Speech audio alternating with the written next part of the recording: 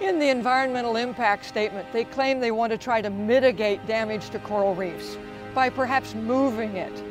Moving it is not an option. It has clearly not been scientifically done. It is clearly not available. You don't pick up a piece of coral and move it. You have to move the whole community. That would be like asking the Cayman Islands to move to Florida.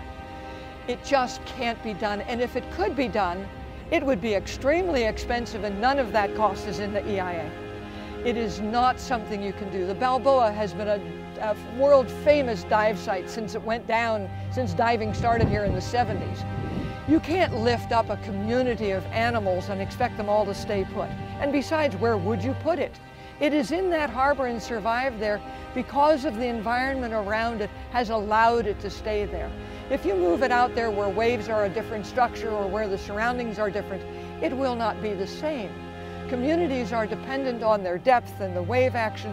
All of that is dependent on each other. It's a web of activity.